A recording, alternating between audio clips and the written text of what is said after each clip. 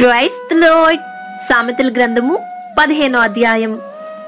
మృదువైన మాట క్రోధమును చల్లార్చును నొప్పించు మాట కోపమును రేపును. జ్ఞానుల నాలుక మనోహరమైన జ్ఞానాంశములు పలుకును బుద్ధిహీనుల నోరు మూఢవాక్యములు కుమ్మరించును. ఎహోవా కన్నులు ప్రతి స్థలము మీద నుండును చెడ్డవారిని మంచివారిని అవి చూచుచుండును. సాత్వికమైన నాలుక జీవవృక్షము దానిలో కుటిలతయుండి నేడలా ఆత్మకు భంగము కలుగును. మూడుడు తన తండ్రి చేయు శిక్షను తిరస్కరించును. గద్దింపునకు లోబడువాడు బుద్ధిమంతుడగును. నీతిమంతుని ఇల్లు గొప్ప ధననిధి భక్తిహీనునికి కలుగువచ్చుపడి శ్రమకు కారణము. జ్ఞానుల పెదవులు తెలివిని వెదజల్లును బుద్ధిహీనుల మనస్సు స్థిరమైనది కాదు. భక్తిహీనులు అర్పించు బలులు ఎహోవాకు హేయములు యథార్థవంతుల ప్రార్థన ఆయనకు ఆనందకరము. భక్తిహీనుల మార్గము ఎహోవాకు హేయము నీతిననుసరించు వానిని ఆయన ప్రేమించును.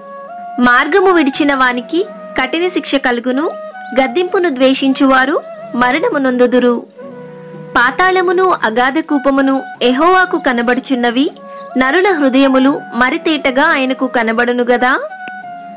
అపహాసకుడు తన్ను గద్దించు వారిని ప్రేమించడు వాడు జ్ఞానుల యొద్దకు వెళ్ళడు. సంతోష హృదయము ముఖమునకు తేటనిచ్చును మనోదుఖము వలన ఆత్మ నలిగిపోవును. బుద్ధిమంతుని మనస్సు జ్ఞానము వెదుకును బుద్ధిహీనులు మూఢత్వము భుజించెదరు.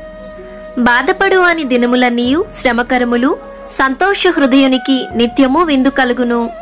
నెమ్మది లేకుండా విసారమైన ధనముండుట కంటే ఎహోవా ఎందలి భయభక్తులతో కూడా కొంచెము కలిగి ఉండుట మేలు. పగవాని ఇంట క్రొవిన ఎద్దు మాంసము తినుట కంటే ప్రేమగల చోట ఆకుకూరల భోజనము తినుట మేలు. కోపోద్రేకియగువాడు కలహము రేపును దీర్ఘశాంతుడు వివాదము నడిచివేయును. సోమని మార్గము ముళ్ళకంచి యథార్థవంతుల త్రోవ రాజమార్గము. జ్ఞానము గల కుమారుడు తండ్రిని సంతోషపెట్టును బుద్ధిహీనుడు తన తల్లిని తిరస్కరించును. బుద్ధి లేని వానికి మూఢత సంతోషకరము వివేకము గలవాడు చక్కగా ప్రవర్తించును.